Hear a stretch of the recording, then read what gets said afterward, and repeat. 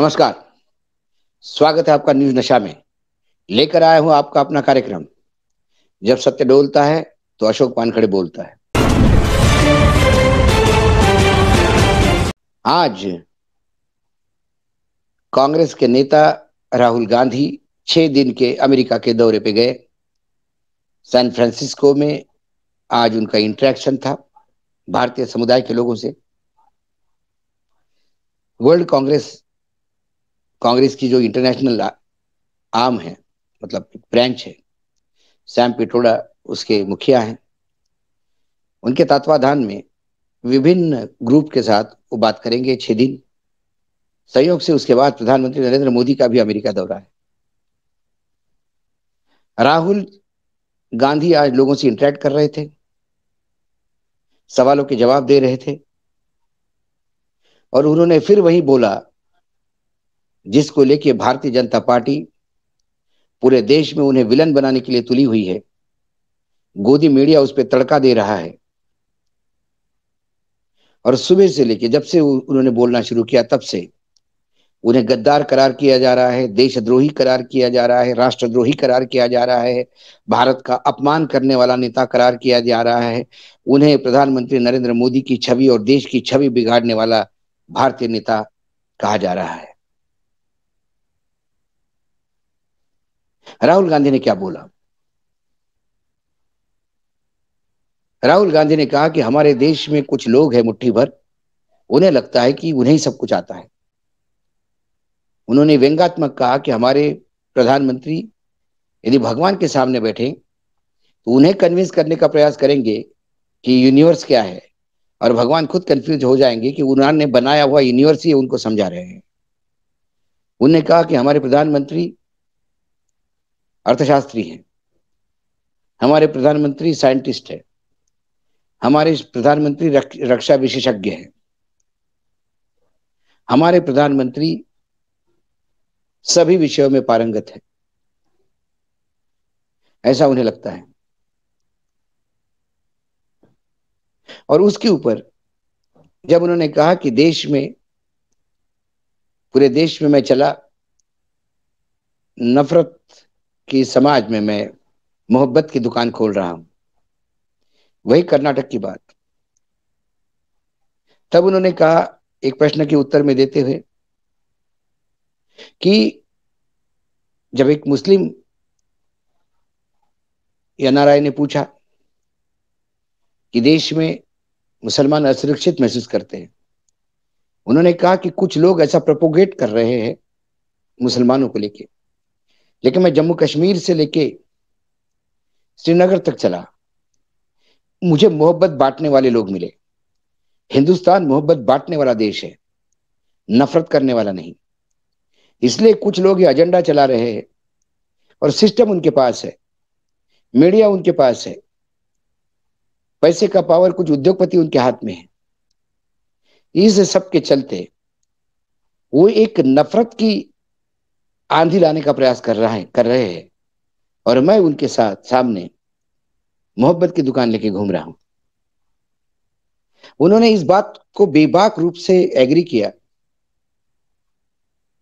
कि 80 के दशक में जो आज मुसलमानों के साथ हो रहा है, वो दलितों के साथ हो रहा था। यानी उनकी खुद की सरकार, कांग्रेस पार्टी की सरकार अस्सी के दशक में थी। उन्होंने एग्री किया कि दलितों के साथ बहुत उत्पीड़न होता था तब। उन्हें कहा ऐसे दौर आते हैं और दौर जाते हैं। लेकिन भारत की मूल प्रवृत्ति जो है, वो मोहब्बत वाली है, प्यार बांटने वाली है अकोमोडेटिव है। आज मुसलमानों के साथ हो रहा है, कल कुछ जगह सिख ईसाई, सिख भाइयों के साथ हो रहा है, ईसाइयों के साथ हो रहा है, अल्पसंख्यकों के साथ हो रहा है। उसको लेके पूरी बीजेपी आक्रामक है। अब हम बीजेपी से, बीजेपी के इन आरोपों को, इनके जो सच्चाई है, ये जो सत्य बोलने की बात करते हैं, ये कहाँ डोलता है, इसको मैं आपको अभी रेखांकित करूँगा। राहुल गांधी ने क्या बोला? सबसे पहले मैं आपको बोलूँ कि हमारा विश्व एक ग्लोबल विलेज हो गया है। अब पूरा विश्व एक गाँव हो गया है। अमेरिका के संसद में वहाँ के राष्ट्रपति क्या भाषण दे रहे हैं? ये विश्व के किसी भी कोने में आप यूट्यूब पे देख सकते हैं। कहीं भूकंप हो रहा है तो उसका लाइव कवरेज आप, आपके टेलीविज़न चैनल पे देख सकते हैं। पाकिस्तान में अराजकता हुई तो वहाँ का आंदोलन हम सब लोग देख रहे थे। यूक्रेन और रशिया का युद्ध भी हम लोग देख रहे हैं। तो इस विश्व में कोई चीज़ किसी से छुपी नहीं है। तो ये कहना बेनामी होगा कि विदेश में जाके किसी ने कुछ बोलने से ही सच्चाई सामने आती है। बाकी जैसे मानो विश्व के लोग आँख मुंद करके प्रधानमंत्री के हर दावे पे विश्वास कर रहे हैं। तो प्रधानमंत्री जब ये कहते हैं कि नाले के ऊपर उल्टा मटका रख के उसमें नली निकाल के गैस जला जला, जलाया जा सकता है, गैस की सिगड़ी। ये उन्हें कौन बताएगा कि जब तक गैस कंप्रेस्ड नहीं होता, तब तक सिगड़ी नहीं जलती? तो मात्र मटके ऊपर रखने से गैस नहीं जलेगा। लेकिन ये वक्तव्य वो करते हैं, प्रधानमंत्री के होते हुए करते प्रधानमंत्री के पद पर रहते हुए वो हवा में से ऑक्सीजन हवा में से पानी टरबाइन से निकालने की बात करते हैं, हवा से ऑक्सीजन निकालने की बात करते हैं।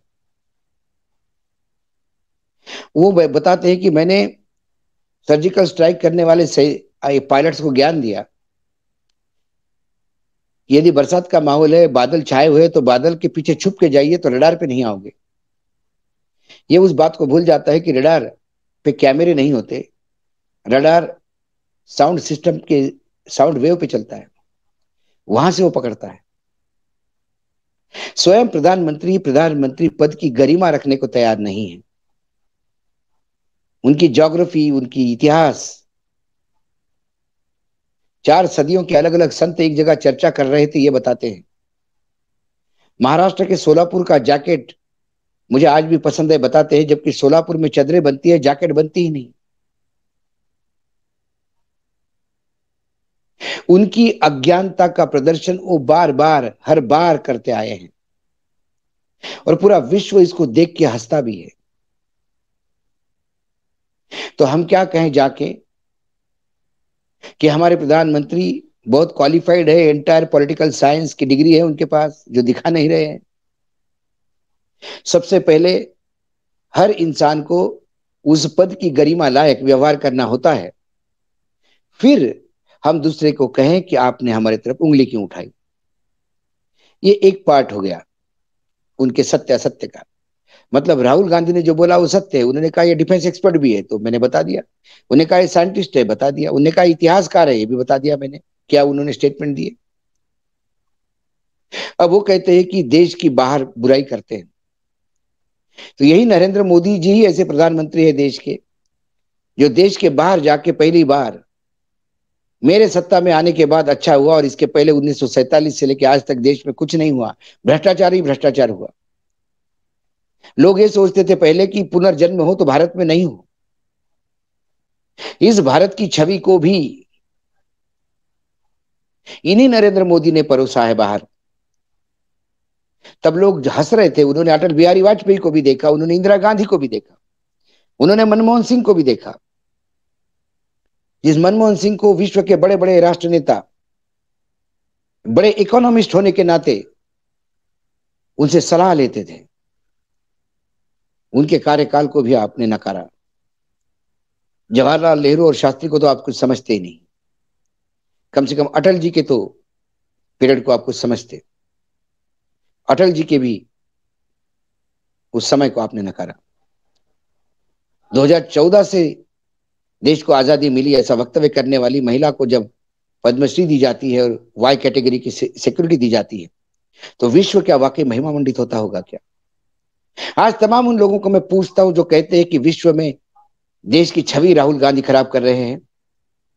तो मैं वादा करता हूँ और दावा करता हूँ इस बात का कि हमारी ओलंपिक मेडल की लड़कियाँ, कुश्ती वाली, विश्व के किसी भी देश में चली जाए, वहाँ के खेल प्रेमी उसके लिए रेड कारपेट बिछाएँगे, सर पे लेके चलेंगे, क्योंकि ओलंपिक के मेडल्स पाए हैं उन्होंने। उन्होंने उस खेल में श्रेष्ठता दर्शाई है। आज जो महिलाएँ वो लड़कियाँ, उनका शारीरिक शोषण हुआ, इसलिए न्याय मांग रही है, उनके ऊपर केसेस लगाए जाते हैं, उनके ऊपर लाठियाँ बरसाई जाती हैं। वो मजबूर होती हैं आमरण, अनशन की घोषणा करने के लिए। पूरा देश उनके साथ खड़ा होने की बात करता है, किसान खड़ा होने की बात करता है खाप पंचायत करता है, विपक्ष करता है। उनके पार्टी की महिला नेता भी, प्रीतम मुंडे ने अभी स्टेटमेंट दिया, वो भी साथ में होने की बात करते हैं। लेकिन एक ऐसा बाहुबली जिनके ऊपर कई प्रकार के गुन्हे हैं, क्योंकि वो आपकी पॉलिटिकल पार्टी का है बीजेपी का सदस्य है, सांसद है तो उस पर एक्शन लेने के लिए सरकार कतरा रही है। तो क्या इससे देश का बहुत अच्छी छवि होती होगी? क्या विश्व के खिलाड़ी, सारे विश्व के ओलंपियन देख नहीं रहेंगे भारत के ऊपर क्या हो रहा है? भारत में खिलाड़ियों का, महिला खिलाड़ियों का शारीरिक शोषण भी अनिवार्य एक एक क्लॉज डाल दिया है क्या आपने? उसके बारे में जब विश्व में छवि खराब होती तो शर्म नहीं आती। एक ऐसा देश जो अपनी पांचवी इकोनॉमी बड़ी होने की बात करता है, वहाँ का व्यापार का घाटा 200 अरब डॉलर से ज़्यादा हो गया है। क्या इससे देश की छवि खराब नहीं होती? आप भारतीय जनता पार्टी की महान नेता सुषमा स्वराज के शब्दों में कहूँ तो जब भी रुपए की कीमत गिरती है तो देश की साख गिरती है, देश की इज़्ज़त गिरती है। तो क्या वर्तमान में जो नीचे स्तर पर रुपया गिरा है तो क्या भारत की छवि उठी है ऊपर?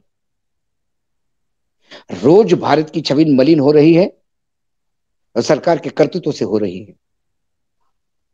ऐसे में राहुल गांधी के नाम से विलाप करना, ये एक और हास्यास्पद बात है, ऐसा दिखाई देता है। सत्य यहाँ डोलता है। इसलिए अशोक वानखड़े बोलता है। राहुल गांधी तो और कुछ बोलेंगे, बहुत बोलेंगे। उनके जवाब आपके पास नहीं है।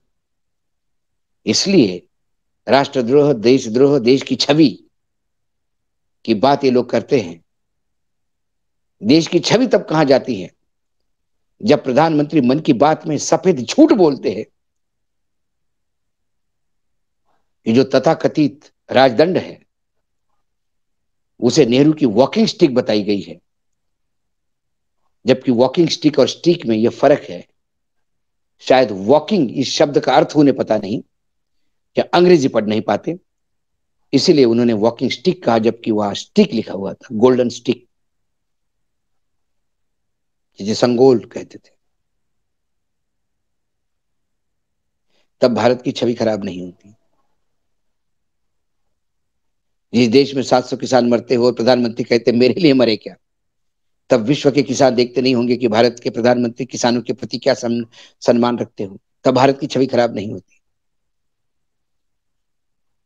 भारत की छवि रोज मलिन हो रही है। क्योंकि भारत में जो कुछ भी घटता है, पूरा विश्व उसको देख रहा है। जैसे पूरे विश्व की चीज़ें आज हम देख रहे हैं। आज इतना ही।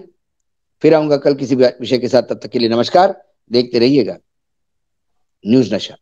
और आप हमसे जुड़े रहने के लिए सब्सक्राइब करें यूट्यूब पर, फॉलो करें ट्विटर पर और लाइक करें फेसबुक पर। और ज़्यादा जानकारी के लिए आपको टाइप करना होगा सिर्फ़ न्यूज़ नशा।